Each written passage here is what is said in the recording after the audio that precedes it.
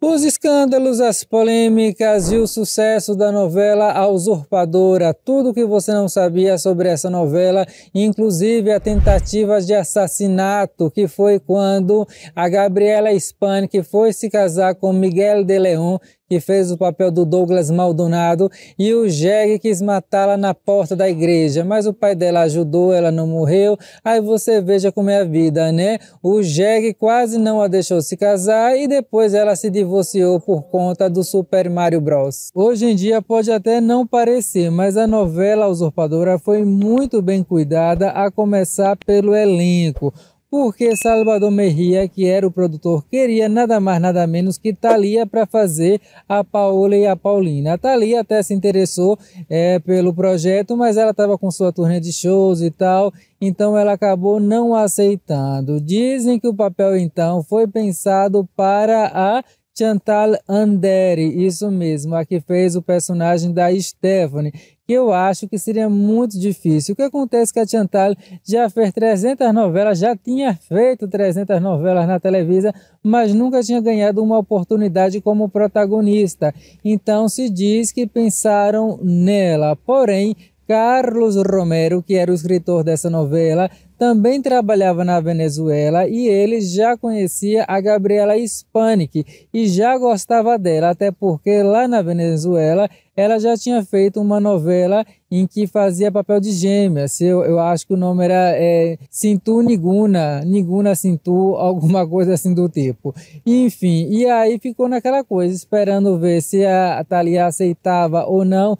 Inclusive, depois a Thalia, depois de um tempo, teve um programa de rádio e nesse programa entrevistou a Gabriela Spanik de maneira remota e a Gabriela agradeceu, falou que seria eternamente grata por ela ter se recusado a fazer a usurpadora, porque assim então os dois personagens caíram no colo da Gabriela Spanik, enquanto que a Chantal Landeri ficou chupando o dedo. Chupando o dedo não, ela fez a Stephanie, que foi a sua quinquagésima vilã. Tadinha dela, só faz vilã e ela que é uma pessoa tão boa já vamos falar dela. E a gente não pode deixar de falar das crianças, do Carlinhos, da Licete, eles ainda estão vivos? Estão sim. Você lembra, né? Carlinhos, ele estava lá na mesma competição que a Mara Maravilha para ver quem era a pessoa mais chata do planeta. Não que eu ache Mara Maravilha chata, até gosto de umas músicas dela, como aquela é, Eu Tô Carente, mas Eu Tô Legal, muito boa. Mas eu tinha uma professora de espanhol que falava que Mara parece que passou 10 vezes na fila da insuportabilidade. E parece que o Carlinhos passou nove vezes nessa fila, porque tudo acontecia com esse menino. E que é do cavalo, ele não sabe amarrar o cadastro, aí depois caiu de uma ribanceira, e também perdeu a memória. Que menino complicado, viu, Baiana? Mas olha, na vida real, parece que ele é uma pessoa muito fácil de se conviver. Ele está casado, casou com outro rapaz e estão juntos há 14 anos. Então, se o companheiro dele está aguentando ele há 14 anos, é porque realmente ele só era chato na novela. Teve uma foto é, de um reencontro entre ele e a Gabriela Spanik quando ele ainda era mais jovem. Acho que ele, ele tinha uns 16, 18 anos quando tirou essa foto aí. Agora não, agora ele está completamente diferente, talvez exagerou ali no Danoninho. Se vê que está saudável, não me parece que seja uma obesidade mórbida e também ele não fica em casa sem fazer nada, muito pelo contrário, ele é produtor de evento, trabalha nos Estados Unidos. O companheiro dele se chama Ricardo Beles, ah não, Ricardo Abeles, inclusive ele já fez algumas séries e novelas. Uma das novelas foi Médicos, Linha de Vida, que era tipo uma super série que passava na televisão e tinha Lívia Britadeira como uma das personagens. Uma das fotos mais recentes que saíram aí dele, juntamente com seu companheiro e outros amigos, foi quando eles foram ao show da Taylor Swift. Né? Foram lá ver o show dela e aí você pode ver que a roupa dele provavelmente foi o mesmo cara que botou o Mário Simaro vestindo aquela sunga, lembra? Nossa, realmente a roupa aí do Sérgio Miguel, assim se chama o Carlinho, Sérgio Miguel, essa tua roupa aí tá mais feia do que aquela sunga do Luciano, misericórdia. Mas enfim, o importante é que ele tá feliz e tal, está vivo e respirando. E a Licete, que não fazia nada na novela, só se fantasiava, aquela menina usou roupa de de tudo, só faltou roupa de enfermeira, porque era pequena, mas hoje que está uma, uma mulherzona, talvez ela alugue um aí no sex shop. Assim como o Sérgio Miguel, ela não continuou nesse mundo aí das novelas. Sérgio Miguel, o Carlinho, só fez depois da Usurpadora uma participação ali em Carinha de Anjo, e depois se escafedeu. E agora, produtor. Já ela foi estudar numa cidade chamada São Luís de Potosí, provavelmente onde ela foi criada. É, faz quatro anos que ela estava estudando ciências da comunicação, vivendo uma vida normal, sem ninguém nem suspeitar que ela fez a novela Usurpadora, até que um brasileiro, você veja como é que é o Brasil, né? Os brasileiros fizeram ali toda uma conspiração, uma coisa, descobriram o Instagram dela e começou a chegar mais gente lá falando: ah, você fez a Licev, não sei o que, te amamos, aquela coisa que você sabe que brasileiro adora um estrangeiro, é brasileiro e colombiano, por isso que eu morei dois anos na Colômbia. Enfim, e aí com essa chegada de tantos fãs brasileiros e tal, ela acabou, digamos assim, tendo um certo ânimo para fazer um projeto. Que projeto é esse, Uziel? Uma websérie no YouTube chamada El Regresso de Lisette Bracho. Nessa novela da internet, ela fazia duas personagens. Uma que era uma trabalhadora normal aí de call center, uma coisa assim do tipo, e a outra era a própria Lisette Bracho, e as duas se encontram no é, banheiro, e aí uma fala para a outra, você não percebeu que nós somos idênticas? Ou seja, praticamente a mesma história da usurpadora, e ainda teve um roteirista para escrever isso, nem precisava, botava lá na inteligência artificial. A ideia dela era fazer nove episódios, ela fez ao total cinco, não sei se foi porque a audiência foi caindo, não sei se foi porque deu muito trabalho, mas também não se perdeu muita coisa não, porque realmente não estava muito bem feito, sinceramente. Eu fiz aqui um remake da Usurpadora e fiz dois episódios, porque também dava muito trabalho e tal, e não teve assim um grande resultado, mas vá assistir depois, vou deixar na playlist com os vídeos relacionados, e aí você vai ver que meu remake não é por nada não, mas dá de mil a zero nesse regresso dele, Sete Bracho. E aí, quando a Gabriela Hispanic foi em São Luís de Patossi fazer o que lá? Faz, foi lá fazer uma peça de teatro. Aí ela aproveitou a Lisette, né, a, a, Maria Solares, esse é o nome dela, eu não falo o nome, Maria Solares, parece nome de marca de óculos de sol. E aí ela foi lá na apresentação da Gabriela Hispânica, encontrou nos bastidores, tem foto aí das duas, e ela queria muito que a Gabriela Hispânica participasse dessa websérie dela. Mas eu acho que a Gabriela realmente deu um perdido porque a websérie não estava assim muito bem feita. Via que era uma coisa assim bem amadora mesmo. Aí você veja como é a vida, né? Enquanto parece que a Gabriela Hispânica não deu muita atenção a esse projeto, já a Alicete, Alicete não, a Maria Solares quando vai falar desse projeto dela, nossa, dela ela fala com uma importância, com uma pompa, que quem vê parece que ela está salvando as girafas da Amazônia. E por falar em criança, temos também a Patti Dias, que fez a Lalinha. E o Zé, o que, é que ela tem a ver com criança? Tem a ver que quando ela foi chamada para fazer a usurpadora, ela tinha acabado de parir, estava recém-parido, um menino pequeno, ela nem queria fazer, porque queria cuidar lá do, do, do menino, né? Mas aí Salvador Merria falou, não, eu quero muito você faça ser uma personagem que vai ser interessante. A gente sabe, né? ali não tinha história própria, só lá mais para o final que ela começa a ter um caso lá com um policial. Mas aí é que vem uma coisa que eu vou comentar muito nesse vídeo ainda como esses personagens secundários foram feitos por atores e atrizes realmente dedicados. Até porque estava lá a Beatriz Sheridan, e com a Beatriz Sheridan, que era diretora, meu filho, se você não andasse na linha, ela lhe dava um tapa na cara. Inclusive, olha só, a Maria Solares, ela só participou da Usurpadora por conta da Beatriz Sheridan, porque a irmã da Maria Solares estava lá fazendo várias coisas na televisão, estudando naquela escola lá, que é o CEA, feito pelos próprios professores ali da Televisa, enquanto que a Maria Solares, no regresso de L7, parece que saiu lá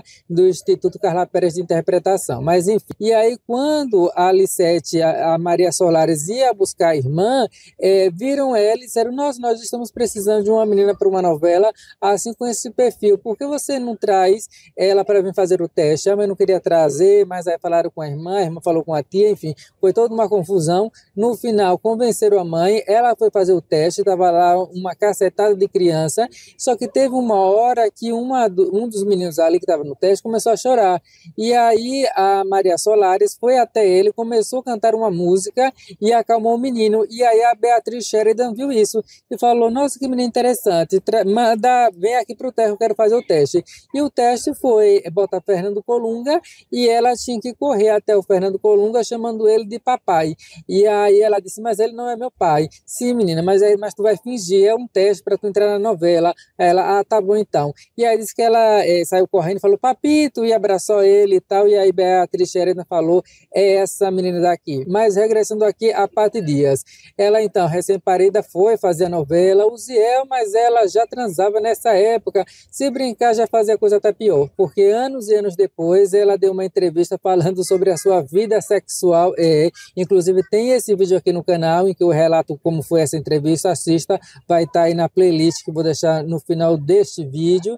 E lá, pelas coisas que ela falou, nossa mãe, é, com ela é do canguru perneta para cima. Mas no final só teve mesmo um filho até agora e está solteira e ela acha que é porque os homens têm um certo medo dela. A usurpadora contou com um quarteto de grandes atrizes. A primeira delas é a Libertala Lamarque, que fez o personagem da vovó Piedade. Ela veio a falecer com 92 anos, já na outra novela que ela foi fazer assim que terminou a usurpadora, que foi Carinhas de Anjo. Já fiz um vídeo contando aqui toda a história da Liberta Lamarck e esse vídeo estará aí na playlist que deixarei no final com vários vídeos relacionados a este. Outra grande atriz é a Magda Guzmán, que fez a melhor amiga da vovó Piedade, a Adelina. A carreira da Magda realmente é impressionante. Infelizmente, ela veio a falecer com 83 anos, passou muito tempo internada no hospital e o seu falecimento foi no ano de 2015. Outra grande atriz, a Ninon Sebide. Eu não estou ligando o nome à pessoa. Pois é, ela fez a empregada doméstica Cacilda. É curioso ver que uma atriz do calibre da Ninon Sebija, que era premiada, tinha uma longa é, carreira na época de ouro do cinema mexicano. Ela que era uma atriz cubana e foi para o México e se tornou realmente um grande nome, como é que um dos seus últimos trabalhos foi como empregada doméstica? Nada contra as empregadas domésticas, obviamente que não, mas não deixa de ser curioso como o avançar da idade para a mulher e talvez até mesmo para o homem fique sobrando personagens assim muito subaproveitados, que não tinham nem sequer uma trama própria. A Ninon Sebidia morreu com 85 anos, também no ano de 2015, com um infarto agudo do miocárdio. E não podemos deixar de falar da Mercha Barba, que talvez seja até mais conhecida pela novela Maria do Bairro, porque ela fez o personagem da Lupe, era a empregada doméstica da Maria do Bairro. Aqui em A Usurpadora, ela fez o papel de Abigail, madrinha lá daquela doida varrida que era a Viviana. Uma personagem que morreu muito rápido foi a mãe da Paola e da Paulina, que era interpretada pela Núria Barres. Quando eu vi a Núria Barres, aí nos dois primeiros capítulos da Usurpadora, eu ainda pequeno, eu pensava comigo, essa mulher interpreta mal demais, deve ser uma péssima atriz.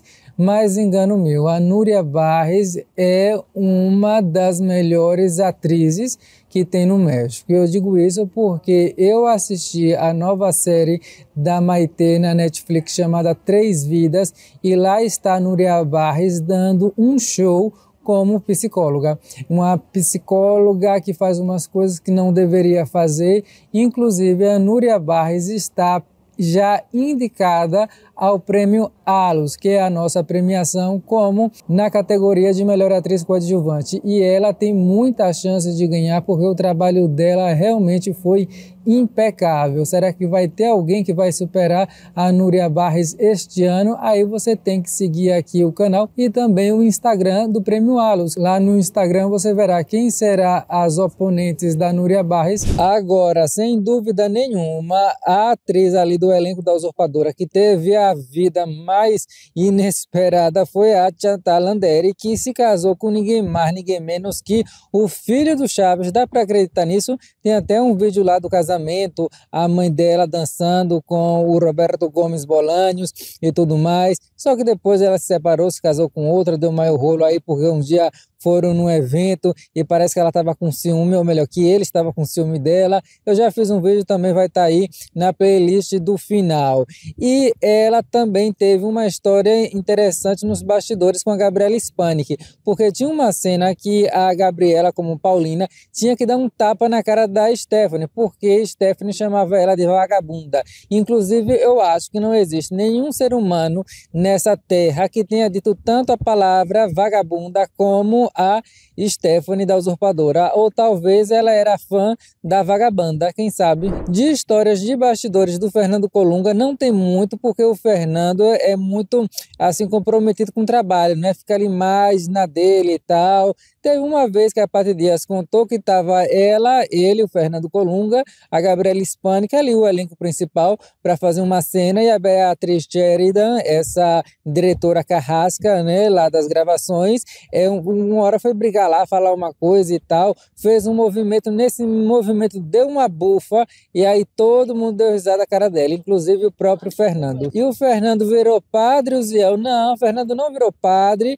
e também não assumiu gay, nada disso isso. Ele, na verdade, deu uma entrevista falando o seguinte: que ele sim tem mulher, mas que ele não gosta de ficar mostrando porque a, a primeira vez e única, segundo ele, que uma relação dele se tornou pública, que foi a relação que ele teve com a Thalia quando fazia Maria do Bairro, a relação que estava indo muito bem foi por água abaixo. Então, depois disso, ele decidiu que não ia tornar pública mais nenhuma relação dele com ninguém, porque logo depois o povo fica julgando, achando, ah, ele, o casal é bonito, não é bonito, merece estar junto, não merece estar junto, e que ele não quer esse tipo de energia para os relacionamentos dele. Então, na verdade, ele diz que sim, que tem mulher, que inclusive quer ter filho, né? Não teve por uma casualidade da vida o momento, talvez é porque de repente ele pegou muita camisinha lá no posto do SUS, na mão de Vanúbia, que eu tenho uma amiga lá na minha cidade que ela trabalha entregando camisinha. Olha só que emprego bom, ótimo esse emprego. Por quê? Porque está ajudando a humanidade, não trazendo mais seres humanos para sofrer nesse mundo. Enfim, então talvez ele tinha lá muita camisinha, falou, não vou usar aqui, quando terminar de usar, eu acabo virando pai, né? E também avô e bisavô, tudo ao, ao mesmo tempo, porque ele já está passando aí dos 50, né? É claro que 50 é super jovem, mas para ser pai é um pouco complicado. Apesar que Roberto Júlio já foi pai é, ali com o pé na cova mesmo. Agora, a Gabriela Spanik nos bastidores foi a que mais sofreu. Essa realmente jogou chiclete no cabelo de alguém muito importante e veio o karma pesado em cima dela, porque ela veio da Venezuela com acento venezuelano, mas a novela ia passar no México, então ela não poderia ter uma, um sotaque e a Beatriz Sheridan é, ia muito em cima dela para ela conseguir melhorar, né, neutralizar o sotaque e tudo mais, e também ter uma boa interpretação. Veja só que dado interessante. A Gabriela Spanik, ela teve como professora para isso nada mais, nada menos que a Adriana Barraça. O Ziel conhece a Marginal. Meu filho, essa Marginal é uma das pouquíssimas atrizes latino-americanas que concorreu ao Oscar. A Adriana Barraça concorreu como atriz coadjuvante por aquele filme Babel. Sim, então veja só, é, ou seja, essa novela com Beatriz Sheridan, com Adriana Barraça, mesmo sendo naquele formato antigo da Televisa, das, de novelas assim muito barrocas e tudo mais, muita gravação no estúdio, ainda assim se vê uma qualidade da usurpadora que não se vê em muitas outras novelas. Todo o sofrimento da Gabriela Hispânica valeu a pena porque a novela, daqui a pouco vou dizer os números do sucesso da usurpadora, mas já de antemão a gente sabe que ela teve um sucesso absurdo, a própria Gabriela Hispânica, e ela usufruiu bastante disso. Quem não lembra quando ela foi lá ao Brasil participar dos, de vários programas do SBT, ela esteve no Em Nome do Amor, gente não teve Em Nome do amor mais emocionante que aquele que ela participou, porque apareceu a família toda, contou a história da Venezuela, a gente que era do Brasil não sabia que ela tinha uma irmã gêmea de verdade, o Zé também não sabia, então, por favor, estava aí você numa caverna na Turquia, só pode ser, porque todo mundo sabe isso, ela tem uma irmã gêmea, já brigou com a irmã gêmea, já fez as pazes com a irmã gêmea, já tem vídeo sobre isso aqui no canal, inclusive, toda vez que ela fala do SBT, de Silvio Santos, então, ela fala de uma maneira muito emocionada, porque de todos os programas que eu já vi ela participar, e foram vários, nenhum fez uma homenagem tão bonita quanto o Em Nome do Amor. Foi realmente assim uma coisa histórica. E quando ela chegou então no aeroporto, tanto de gente esperando, a Usurpadora era uma novela muito, mas muito assistida por crianças. Então, e o amor de criança e de adolescente, eu acho que é um pouco mais intenso. Nessa visita ao Brasil, a Gabriela realmente foi mais exprimida do que cana para fazer suco. Ela fez também comercial do Carnê do Baú, ela esteve no De Frente com o Gabi, fez também é, a Hebe, até o Ratinho, porque na época Ratinho tinha um programa lá, uma paródia chamada A Chupadora. Eu fiz um vídeo aqui que o Michel Gobiro foi o número um da Gabi, me mandou vários memes e vídeos desta época. Tá muito engraçado esse vídeo também. E junto com ela estava quem? O Miguel de Leão, o Douglas Maldonado. Todo programa que ela ia, ele ia atrás. Aí, às vezes, quando ela, ele não aparecia tanto, a câmera às vezes focava nele para dizer que, olha, ele está aqui quase que chamaram Miguel de Leão para fazer um clipe daquele que, aquele da música Cachorrinho, lembra? Que tem uma letra bastante profunda, que é assim, é, vem aqui que agora estou chamando. Vem meu cachorrinho que a sua dona está chamando. Eu não tinha pessoa melhor para fazer esse, esse clipe, mas chamaram lá depois um, um, outro modelo. E o casamento acabou porque, Zé, já que eh, parecia que eles se gostavam tanto e tal, é que na verdade parece que ele gostava mais dela do que ela dele. E também ela foi fazer uma novela na Colômbia, conheceu lá um, um, um ator com, que tinha um bigode maior do que o bigode do Ratinho, e aí parece que enfim teve um envolvimento, e aí no final, a partir daí, realmente ela só pegou bomba nuclear, parece que trabalhava até na Rússia. Um que ela pegou, por exemplo, da Venezuela, chamado Ney, esse nem engravidou ela, depois apareceu no Múcio Cafedeu, nunca deu nem sequer uma fralda Uggs para o menino. E o que o Super Mario Bros. tem a ver com isso que tu disse no, no início? Pois é, porque uma das coisas que a Gabriela alegou em uma entrevista, assim, uma vez falando, foi que é, quando estavam juntos, ele também não dava muita atenção, preferia ficar lá jogando Super Nintendo, videogame, ou seja, Donkey Kong acabando com os casamentos. Na verdade, 99% dos casamentos que terminam é, não é culpa só de um. Sempre tem ali uma certa culpa dos dois e tal, acredito eu. Ou não. Diga aí, você é separado, você teve alguma culpa? No seu divórcio, escreva aí embaixo nos comentários. E por falar em casal, quem casa quer casa. Vamos falar da casa da família Bracho. Afinal de contas, quem nunca teve a vontade de atender o telefone e ao invés de dizer alô Adriane Galisteu, dizer eu até fiz isso aí no meu outro canal. Vocês já viram o meu outro canal, que é o canal que eu mostro as casas aqui pelo mundo e também os hotéis, mostra a decoração. É, eu não sei falar de look de nada, então eu falo de imóvel, que é uma coisa que eu entendo, que meu pai tem loja, meu irmão tem imóveis também. A Feira Móveis em Feira de Santana, tá bom? Então me siga lá, vou deixar o link do outro canal aí no primeiro comentário. Já tem vários vídeos de vários lugares da Colômbia, daqui da Europa, mas voltemos aqui para a casa da família Bracho. Os donos daquela mansão, a família se chama Atila Aguilar, ou seja, já tem nome de quem tem pacto, né? Uma coisa impressionante. Aí eles fizeram um contrato com a Televisa para eles para a Televisa fazer ali as gravações da novela, as cenas que, que eram dentro de cômodos não se gravavam lá, mas toda aquela parte mesmo do Carlos Daniel entrando é, na casa como se fosse atropelar o velho Chico, a, a, a, a vovó Piedade que às vezes conversava no jardim, ali sim era tudo naquela casa. Depois que acabou o contrato, é, a casa voltou, né, a, ali aos proprietários, a Tela Aguilar, mas eles venderam a propriedade para um outro ser humano. Quem é esse ser humano? Não sabemos quem é o ser humano, mas vendeu dizem que por 40 milhões de reais. Quem falou isso, 40 milhões de reais? Ah, eu vi vários vídeos. Olha, eu vi um vídeo do Gatube, vi um vídeo da Aldine Miller, né, que também já participou aqui do canal. Ela tem um vídeo muito bom sobre casas. Então, eu acho que eu vi esse número de lá. É, fizeram a conversão, 40 milhões foi vendida a casa dos Bratio.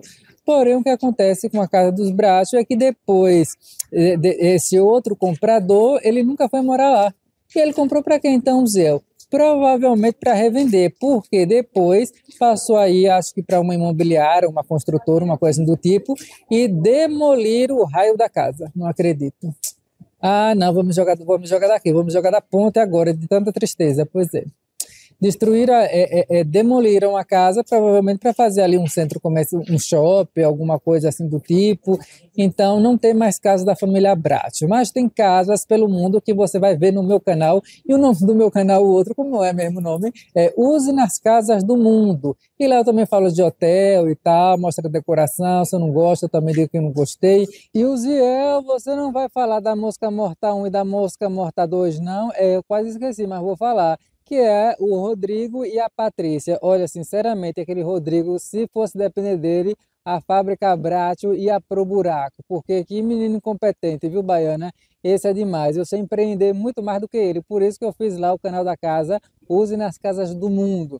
Pois é, então, o Marcelo Buquete, o que aconteceu com ele? Buquete, é o que Buquete? É o sobrenome dele, partiamente poluída, é Marcelo Buquete, B-U Q-U-E-T, Buquete. Eu acho que é um sobrenome francês, na verdade. Mas, enfim, nossa, ele enviou muito cedo e muito cedo também já casou de novo. Até porque, né, para bater um bolo é melhor uma batedeira com duas peças. Porque se for bater com uma peça só, um braço fica cansado. E aí ele se casou, até porque ele teve filhos com a esposa falecida. Então, a menina com quem ele se casou parece assim muito boazinha Claro, né, que a gente nunca sabe só pela cara. Já vi muita gente com cara de boazinha que depois deu golpe do divórcio. Mas pelo que eu vi, pesquisei e até mostrei no vídeo sobre ele, parece realmente uma relação muito saudável. Vejo assim bastante amor entre eles e no mais ele continua bem, mais alvo que a neve. Ô, homem branco, viu? Se tomar um sol ali, deve ficar igual um suco de laranja. Ainda bem que já inventaram o protetor fator 60. Inventaram, se não inventaram, deveriam inventar. Mas ele faz sim participações em novelas. Ele fez, por exemplo, Sinos Dehan.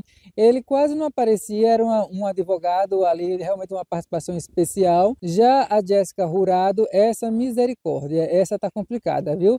Fiz um vídeo falando das atrizes desaparecidas que simplesmente quiseram sumir, nunca mais deram as caras, mas graças a esse vídeo, o Victor Bernadelli oficial, esse é o Instagram dele, que ele é um ator, jornalista, investigador, todos os dons que você possa imaginar. Ele fez um trabalho de investigação assim, digno de aplausos e conseguiu achar fotos mais recentes dela. Primeiro, ele achou uma foto de 2014, Veja aí a diferença como ela estava em 2014.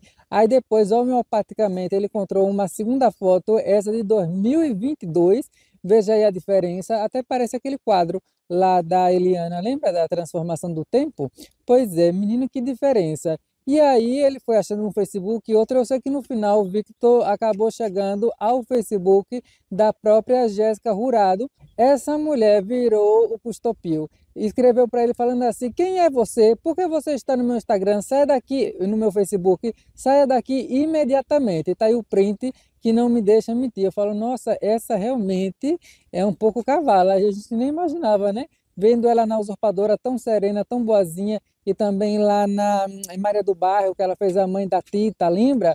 Ah, eu tinha uma ideia um pouco diferente, mas da maneira como ela escreveu para o Victor, realmente. E aí depois ele me falou que na verdade o que acontece é que tem aí uma coisa muito pessoal dela, que ela acho que tem medo de que isso saia e tal, e que ela não quer se expor, né? Eu achava que era por medo da fama, porque ah, falando assim dessa maneira até parece que os capins ficavam gritando por ela, Jéssica Rurado, Jéssica Rurado, ninguém se importa muito. Mas como tem aí uma questão pessoal que dá muito, no México diz morbo, né? Ou seja, dá muita fofoca, dá muito interesse e tal. Acho que é por isso que ela teve todo esse resguardo bravo dela, que só foi encontrado agora graças ao Vitor Bernadelli. Mas não vai lá no Facebook dela não.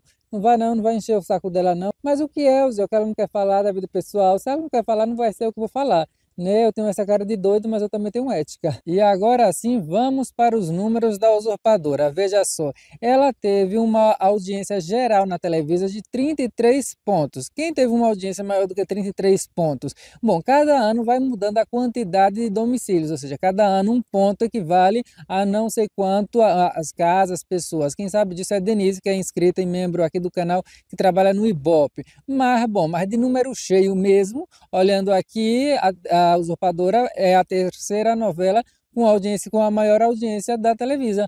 porque, veja só, é Cuna de Lobos, que fiz vídeo na semana passada, batia 50 pontos, foi uma coisa assim realmente fora do comum.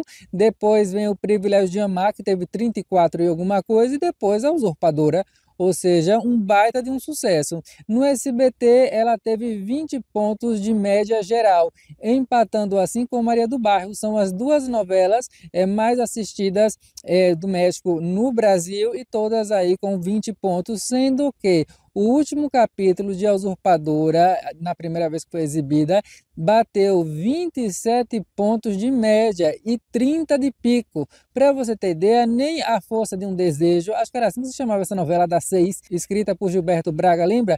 Com a Malumade, essa novela lá da Globo morreu sem ver os 30 pontos e a usurpadora viu. E quantas vezes é, a usurpadora foi exibida no Brasil? Só o SBT, até o presente momento, é, exibiu sete vezes, ou seja, a original e depois seis reprises.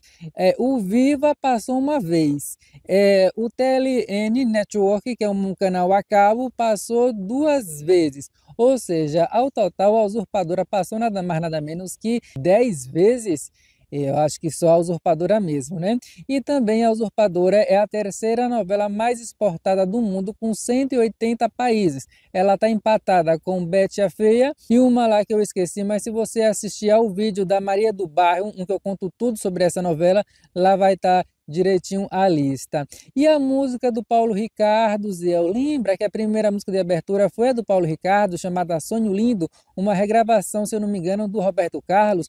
Gente, eu realmente não sei quem é, qual é a melhor música, se é a Sonho Lindo, cantada pelo Paulo Ricardo, ou se é a música da Pandora lá, a usurpadora que a gente viu nas outras repetições, né? O Paulo Ricardo provavelmente foi chamado para fazer parte aí da trilha sonora de abertura da novela porque antes de passar Usurpadora, passou Pérola Negra. E lá era uma música dele e foi uma novela que teve muito sucesso no SBT. Então pensaram, bom, se deu, deu certo aqui com a música dele em Pérola Negra, vamos chamar também para Usurpadora e escolher essa música que cai como uma luva.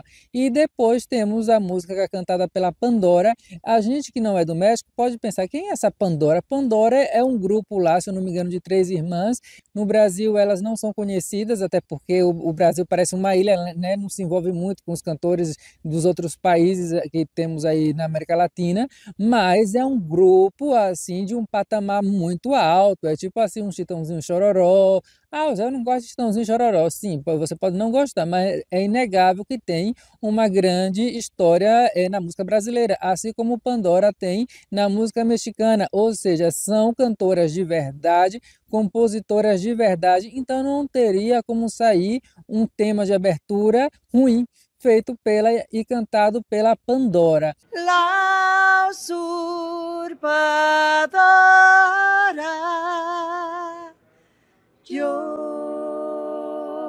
a abertura da novela também merece um destaque, porque muitas aberturas de novela da Televisa é o que? Simplesmente eles vão recortando lá pedaços que gravaram da novela, vão fazendo ali uma edição, geralmente uma edição muito mal feita, em muitos casos, por exemplo, Minha Fortuna é Amarte, que vai passar no SBT, Minha Fortuna é Te Amar, provavelmente o SBT vai dar um trato, porque a abertura original no México, nossa, mas era é, realmente só recortes e recortes lá de cenas que foram exibidas. Na Usurpadora, não. Eles fizeram o resumo da história, que é algo, já é o padrão da televisão fazer isso, né? Eles resumem praticamente toda a história na abertura, porém, eles não pegaram cenas que já tinham sido gravadas, não eles se juntaram para gravar a abertura. Teve uma pessoa que não era lá da Televisa que foi chamada para é, fazer isso, eu li uma vez, agora não vou lembrar a fonte, mas que era um cara norte-americano, uma coisa assim do tipo. Eu sei que era um cara especial. E aí nós tivemos a abertura que tivemos. Juntou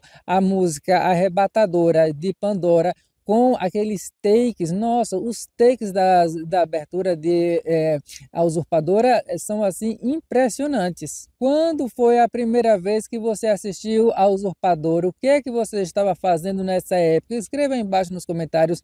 É a sua novela preferida? Olha, das que veio do México, acho que é da minha, é, acho que é minha preferida, juntamente com Maria do Bairro. Mas acho que gosto mais da Usurpadora. Escreva aí embaixo nos comentários, clicando aqui nessa playlist, olha só que eu vou deixar deixar, estarão aí vídeos de todos os atores aqui que eu comentei, alguns eu nem comentei, mas também estarão aí, e aí você vai se aprofundando mais se você é um grande fã dessa novela, tá certo? E o Ziel, onde é que você está agora? Passou em tantos lugares, se você quiser saber, faça parte do clube de membros. Você paga só R$ 1,99 e eu saio aqui gravando e mostrando esses lugares e contando coisas é, da minha vida, experiência, dando conselhos. É, eu sou um bom conselheiro, embora tenha essa cara de desequilibrado, mas eu tenho um doutorado. Então, assim, eu sou uma pessoa sensata, embora não pareça. Agora, também tem o meu canal Usine nas Casas do Mundo, que lá você não precisa pagar nada, é só ir lá e aí você vai ver as casas, os hotéis que eu fico. E isso vai me servir para quê, Zé? Vai servir se você gosta de construção, de de casa. Tem gente que gosta, então eu fiz é, esse canal pensando nesse nicho. O link estará aí no primeiro comentário. Muito obrigado a quem puder apoiar tanto o clube de membros aqui como o novo canal e um grande abraço para quem ficou até o final, até rimou. Acabou, marginal.